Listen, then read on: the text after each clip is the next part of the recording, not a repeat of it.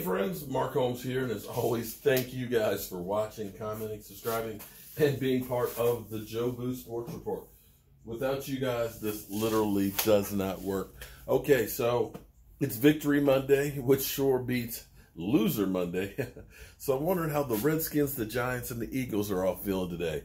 My guess is not as good as our Cowboys are feeling right now. And in fact, we got good news because some of our Cowboys are feeling better. Robert Quinn, um, as well as Vander Esch. You know, Vander Esch had the neck stinger.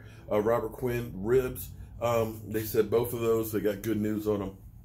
Not going to be long term, and having the bye week really and truly helps. So, great news and shout outs to those guys because, hey, we need them all. It was all hands on deck yesterday. It's a great feeling. But I got to tell you, have you noticed how quiet it is today? You know, all of the trash talkers, all those guys that were trolling me, they don't seem to be around much. Hmm. Just like cockroaches when the lights come on. Don't you think? Now, Stephen Jones says, you know, during the bye week, which is, um, of course, the 29th being the last day. Should have stayed up to 2 o'clock. The 29th is the last day for NFL trades. And Stephen Jones says during the bye week, you know, we look to get people healthy and things like that, give the guys some rest and stuff. And we'll look around.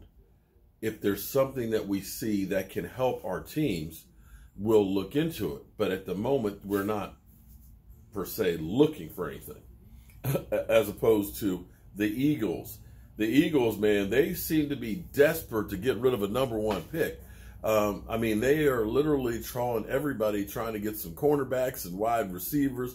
There was rumor out that they were trying to trade um, Alshon Jeffries and um, a number one pick to the Cardinals for uh, Patrick Peterson. You know, I mean, that's a whole lot to be given up for a guy who's 29. I know he's still really, really good, but damn, that's literally mortgaging your future. That stinks of desperation. And I owe you guys an apology because, wow, I was so happy this morning. How happy was I was so happy I forgot to turn the microphone back up. So I did a whole morning video and literally you couldn't hear a damn thing. That's how bad it was today, but I apologize. But, you know, it's Victory Monday. We all make mistakes. I, am certainly human.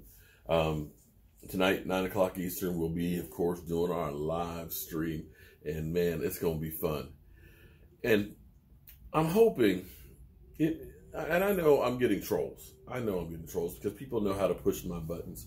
But we had people yesterday that were like, Dak Prescott is basically Quincy Carter. We had other people saying, trade Dak, trade Dak, he's a bum. And listening to some of the people out there, uh, my God, you, you guys are like Shannon Sharpe. Literally, you have one bad play, you take one sack, or you end up having one pass or interception, and all you hear is bench Dak, trade Dak. Do you guys ever watch any other teams play? I'm curious if they were saying the same thing about Carson Wentz, who had an interception and two fumbles and couldn't get 200 yards passing. And the only touchdown that the Eagles got was because they got two penalties, 15 yarders that kept drive that drive alive. If it weren't for that, they would have ended up with just three freaking points. But again, I know some of you Cowboy Dak Prescott haters will say, yeah, I'll take Carson Wentz over Dak anytime. Okay, come on. Let's start giving the man some credit, okay? I know when I'm watching the shows, you know, Shannon Sharpe is giving Dak a C for his grade for the game. And, um, of course, most of the talking shows are like, well, the rest of the Cowboys showed up, so Dak, all he had to do was just basically be there. You know, that shit's getting old. Let's start taking a look at what this guy has accomplished. In fact, I'll make sure I get the statistics. Because when you start looking down at all the records that Dak Prescott has of the Dallas Cowboys, as well as some NFL ones, you're looking at somebody who, whether you like it or not, you haters, Dak Prescott's going to pretty much own almost all of the Dallas Cowboys quarterback records, barring injury. all those ones Tony Romo had, they're going to fall. They're going to fall in short order. I'm just telling you, at the present rate, and the way he his his maturation is going, I'm telling you, you're looking at Russell Wilson. If we can get the rest of the team to play like they did last night, it won't be long before we have a Super Bowl.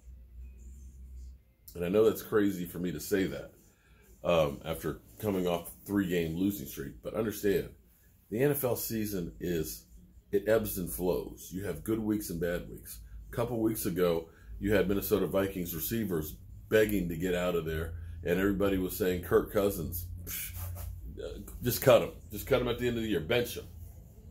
Look what he's doing the last two weeks. He lit up the Eagles, and uh, he lit up uh, the Lions yesterday. It's the way it goes in football. There's no such thing as a perfect season. Well, there was one. But you're going to see quarterbacks that have good games and bad games. You're going to see defensive ends that have good games and bad games. You're going to see coaches that call great games and bad games. It's just the way it is in football. And understand the guys on the other side of the field, they're paid to do the same thing. And it's a give and take. What you hope is that you're giving a whole lot more than you are taking away from them. You know what I'm saying? I think I said that right. Or are you taking more than you're getting? You know what I mean. Did you get more wins than the other guys? That's the bottom line. All right, so I got some work here. I gotta get the face frame made for this cabinet and um, keep on keeping on. I'll see you guys soon.